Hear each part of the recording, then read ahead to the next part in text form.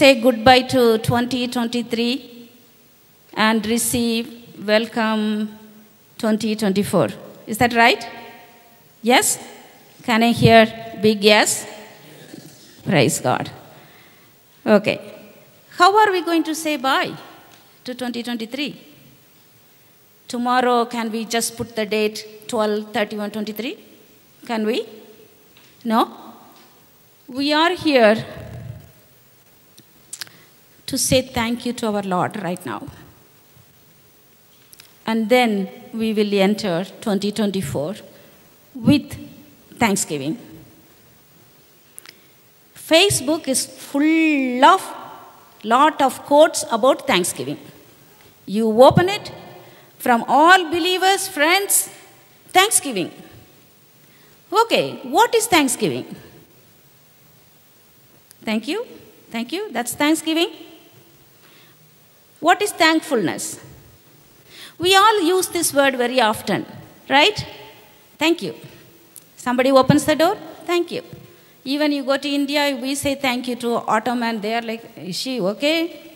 Right? Because we practice that word here so much. So when we go back to India, we say thank you to many people without even realizing how, because we are doing here. But when we think of that word for a second, sit back and think what is thankfulness? And just think in your heart what is thankfulness? Thankfulness is when we say thank you to somebody, our heart is overflowing with joy. Some kind of glowing in our hearts because Evanji did something good to me. Thank you, Evanji, I'm going to tell. Right? If somebody does bad thing, are we going to say thank you? No? Okay. Definitely, when somebody does good thing, we are telling thank you. We are thankfulness that time. And we, as Christians, as believers, we should thank God. We should thank God. Why? Why should we thank God? Okay, one of my friends said, um, I asked her on Thanksgiving Day as, at work, uh, so what do you do? Church going person. So I asked, what do you do? Hmm, I go for a party. Okay, that's her job. But we are Christians. We are believers. What should we do? At least, do you accept with me that we have to thank God? Can you give a broad smile at me, please? I think everybody is sleepy. That's okay. One day in a year we can sit here, okay?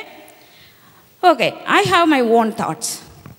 Bible says in 1 Thessalonians 5:20, rejoice always, pray continually, give thanks in all circumstances, for this is God's will for you in Lord Jesus Christ. Very simple. It's God's will. How many times we are trying to do God's will? This is one of the God's will. So many things are there in the Bible. This is one. Very simple. This is God's will. We have to thank God. Hello, church. Do you accept with me? Okay. Why, why, why? Because this thankfulness is a character, it's a, a habit, um, it's a good attribute of a true Christian. We cannot just sit in the church or at home without thanking God. And also, this is a very good, wonderful discipline in our Christian life. We cannot pass by without thanking God. When you sing during worship, when they display the words, we realize, we understand, and thank God. Bless the Lord, O my soul. We are telling our soul, bless the Lord. Without meaning, we cannot sing, right? If you are singing without meaning, you are a liar. You have to understand. So there are so many things when, especially when you come to the church, sitting in the sanctuary, how many times from beginning to till now, everybody mentioned thanking, thanking, thanking God, thanking God, thanking God. But today is a perfect day to celebrate all our accomplishments by the strength of Jesus Christ and thank God is very, very perfect. It's a very perfect time. Though we know every moment we have to thank God, this is a very perfect time. Even though we just celebrated Thanksgiving uh, Day in November, this is a very perfect day for our believers to sit in the sanctuary in the presence of God, looking at Him, Lord, thank you. You gave me a gift of life, you gave me family. We cannot keep quiet, church. We have to have thankful heart because this is God's will. And we have to thank God for this Bible, Word of God. We see God's heart through this. We see the salvation. We see the miracles. We see the promises. It says, When you are weak, I will strengthen you. If you are sad, I will comfort you. If you are depressed, I will fill you with joy. What else we want? You name it, you get it. Nowhere we get it. Hallelujah. Such a precious gift God gave. At least for this, we can thank God. If somebody says, I don't know how to thank God, just thank God for this Bible wonderful gift God gave us. And just thank God for what He is yet to do in our lives. I just want to go through few uh, examples from the Bible uh, by authors, Bible authors wrote many, many things. I just got very, very few, around 20 or 25, okay? Be, be alert. The first thing I want to talk about David. David thanked God for his kingdom. There are many reasons he thanked God. I just picked up this. In 2 Samuel chapter 22, verses 49 50 says, God sets me free from my enemies. You exalted me above my foes. From a violent man you rescued me. Therefore, I will praise you, Lord, among the nations. I will sing the praises of your name. So King David was a shepherd boy. God raised him to a higher level, supernatural way, as a king. And he was a great king. He was a famous king. Everybody respected him. Of course, he had enemies. There are a lot of things to know about David. But being a king, he thanked God for his kingdom. What is our kingdom? Church, what is our kingdom? I'm talking about spiritual kingdom. What are we aiming for? What is our destination? Unless we form a very good spiritual ground, we can't attain the spiritual kingdom. So get ready, church. We don't know when Jesus will come. Be ready you know about yourself what kingdom you are aiming for and what king for what kingdom you are getting ready. And thank God for that kingdom, what He has prepared for us and waiting for us. And one more thing I want to say David thanked God for wealth.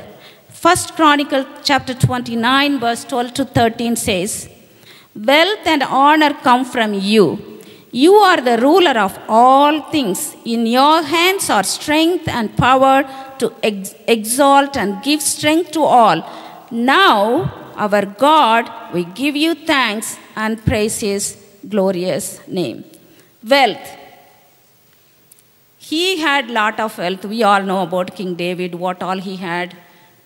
Thousands of cattle, camels, all that. Uh, multiple palace he had and you know, he was a good fundraiser. Do you know? King David was a good fundraiser. He made a great plan to build a temple for God. But God told him, You are not the one going to build the temple.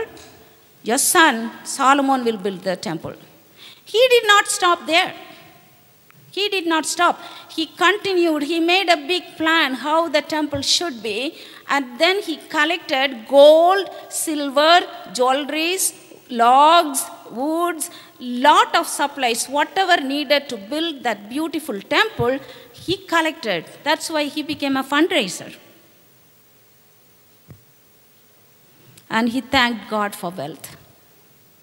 Any of us here can say, I'm a poor person. I'm talking worldly wealth. Can anyone say, I'm very poor, Sushila? We are well blessed. Here and there, there will be ups and downs. But have we ever thought of thanking God for what wealth we have? We have to thank God. Small, small things. Small, small things. Small things and big things. We have to be thankful to God for that. The next example I have is Daniel. Daniel thanked God for his wisdom and power. Daniel chapter 2, verse 23 says, I thank and praise you, God of my ancestors. You have given me wisdom and power. And he goes on. Wisdom and power. I tell you, God has given all of us wisdom and power small to adult. Everyone excel in particular area maybe, different degree, but we all have wisdom and power. Otherwise, I don't think God would have brought us here. Otherwise, I don't think we are sitting here today. There are many people in India, back in India, wanted to come here. I know my classmates. I know my friends. No way I'm better than them. No way. But God has different purpose. God brought me. You all will accept with me. God has given wisdom. God has given wisdom, power to every one of you. God gave you family. You have the wisdom and power to run your family, manage the finance, take your children and you to uh, doctor's office, annual checkup, this and that, immunization, vaccinations, whatnot. Don't you think you have the power to run your own family? He has given us wisdom and power to spread the gospel in the world. Can you say amen for that? In one way or other, you are doing ministry. Unless you hold the uh, mic, that doesn't mean because you are not holding the mic, you are not preaching. You may talk to somebody some, something from the Bible, some nice words, to somebody to comfort them, that's ministry. Being a nurse, I'm thankful to God. It's painful to see patients suffering, but in the midst of suffering, darkness, the difficult time, many times, I'm telling in the sanctuary, I held my patience and prayed. That's a ministry. You come to the church, you clean, that is ministry. How? because God gave you wisdom and power to do this without even thinking, why should I clean the toilet in the church? You are not thinking, but you are doing. It's a ministry. Why? God has given wisdom and power. But did we ever thank God for that?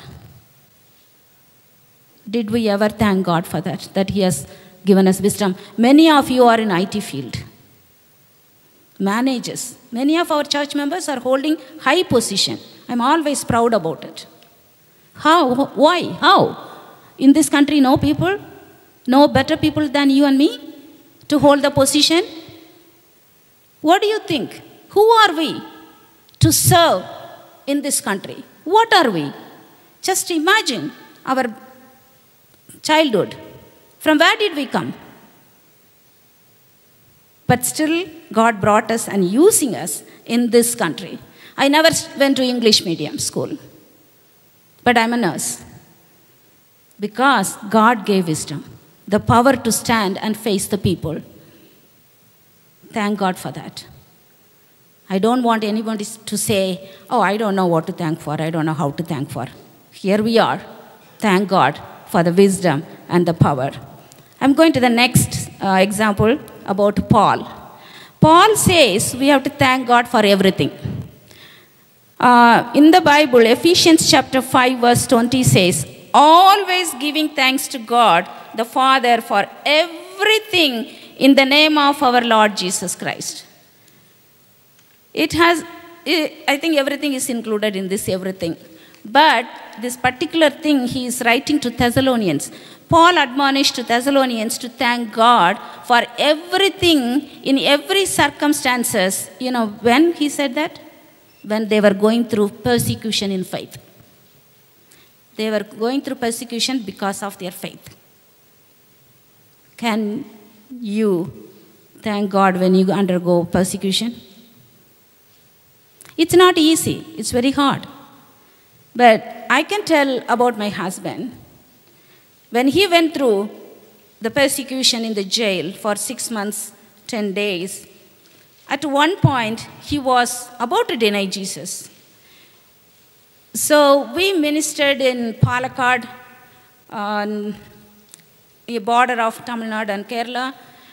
So as soon as uh, he finished sharing, the meeting was over. We couldn't come down from the stage. People ran. A crowd ran to the stage and stood around my husband. And I saw one old couple, husband and wife, holding their hands, fell on Prabhu's feet. The reason is the old couple, they said, we had many testimonies. They always say, I was strengthened by Jesus Christ, the Holy Spirit filled us, and I never denied. But this is the first time in my life I hear somebody openly accepting that uh, I was about to deny.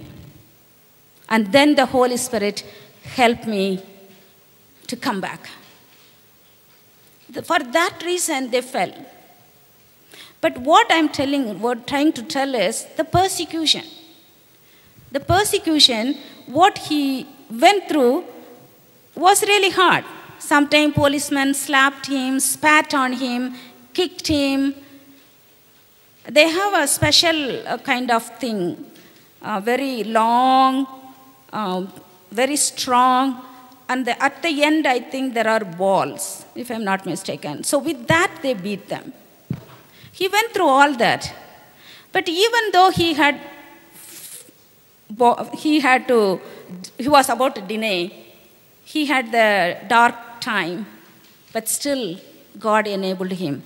Church, I tell you, if you have to be uh, persecuted, if you, you are facing persecution, I tell you, the God who allows you to face the persecution will give you strength also. Many times people ask us, how did you stand this? How did you went through? How did you tolerate? I tell you, it's not because of his strength or my strength. This is because of my Lord Jesus Christ's strength. So do not be afraid. If at all, it's coming. It's coming.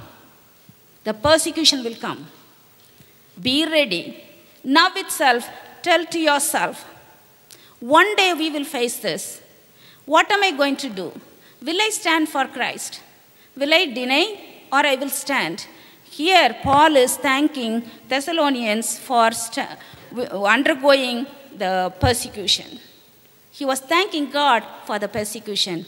I am just taking a chance to tell about persecution to you this time. If you know anybody going through persecution, you thank God for them. Thank God for Israelites. Thank God for Hamas people. Thank God for Ukrainian people. We don't know exactly what's going on. Just thank God. It's God's will. Just thank God. Lord, many things going around. Thank you, Lord. Help people to withstand.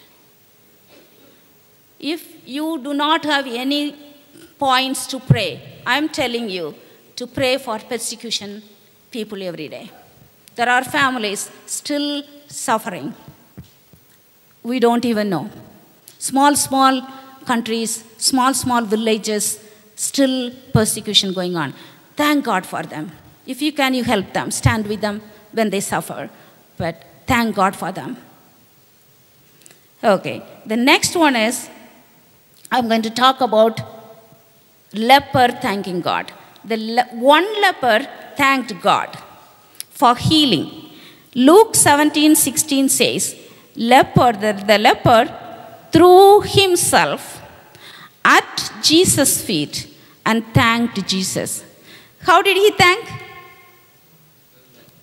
Jesus, thank you. Did he say that? He fell at his feet.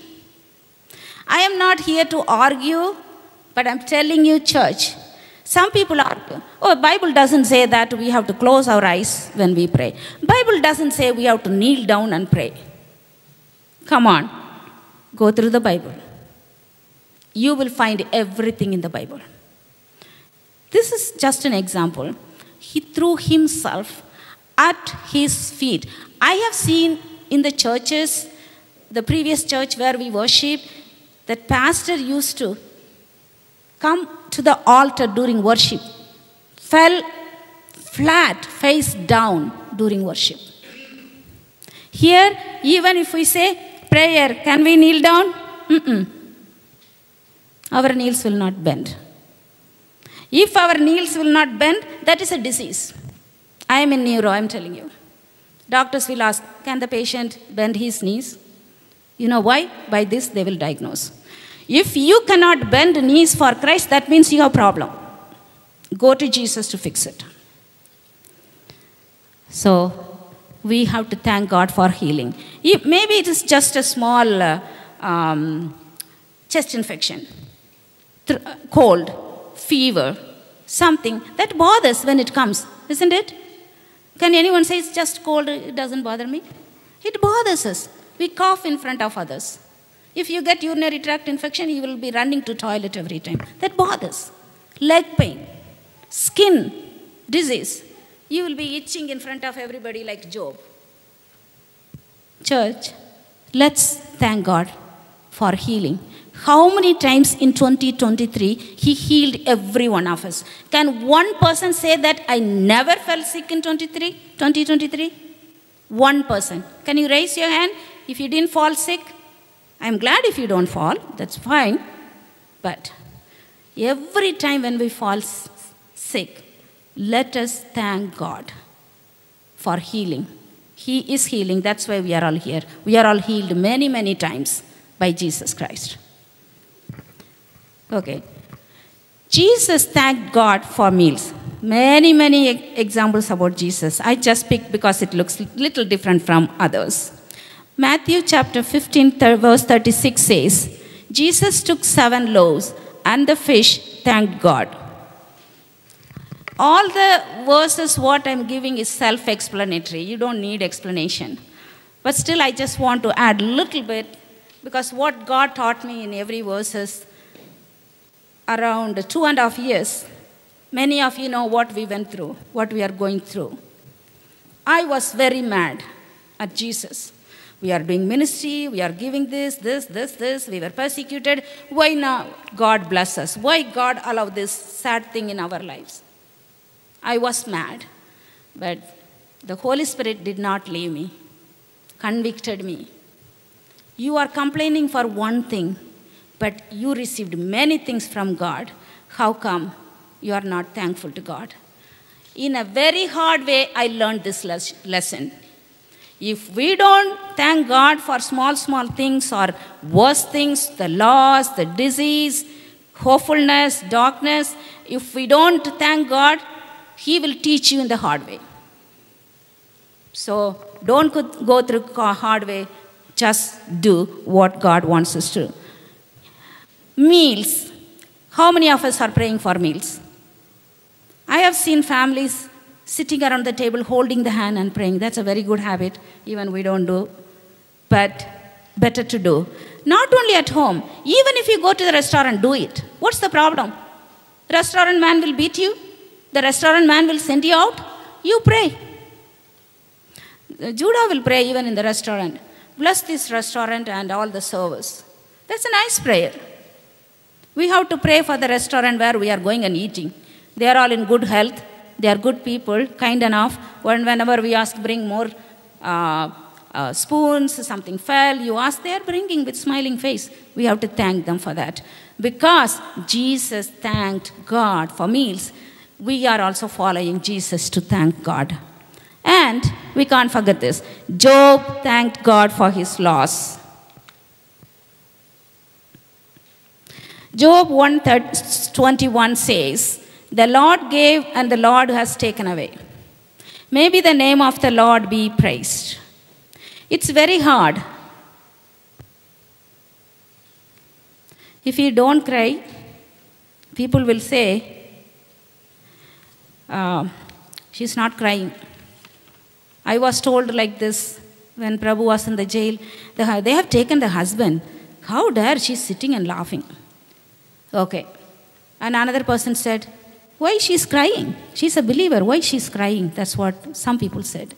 The world may say anything, church, but you and me should know we have to thank God during the loss. And Ezra 3:30 says that Israelites made a great big joy when they laid the foundation for the temple.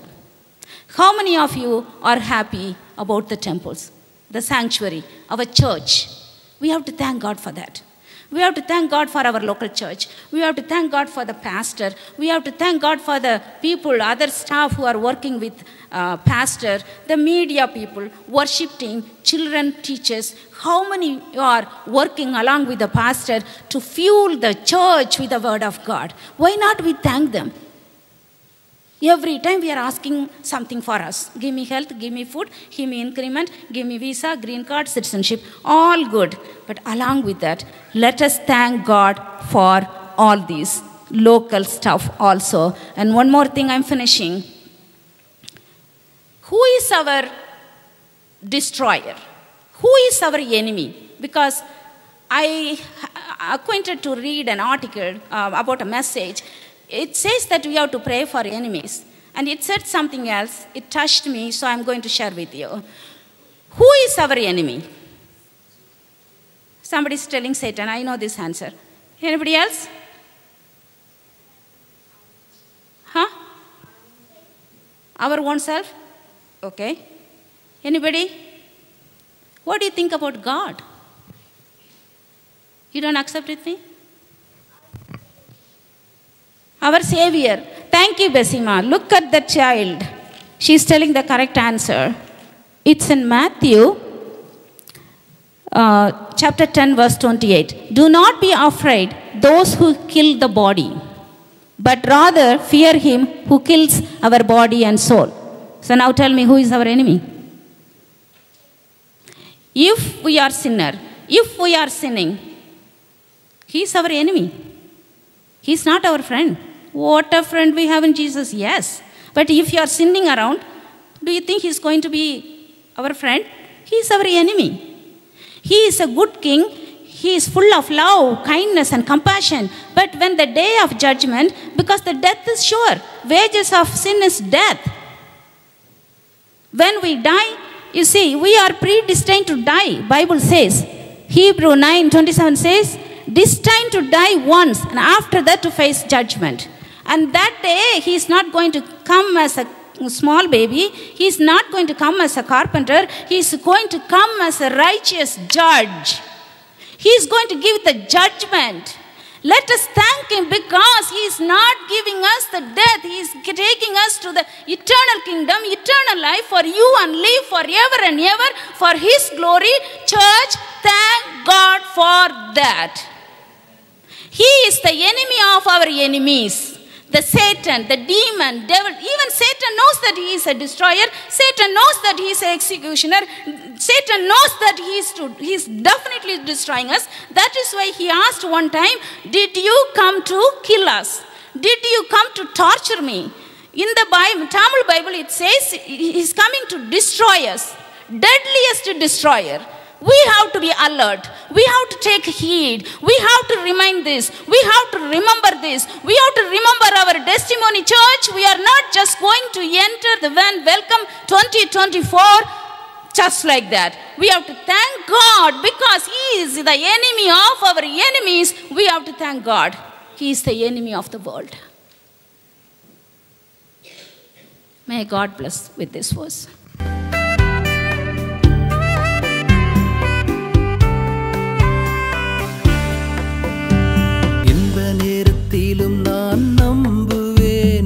in the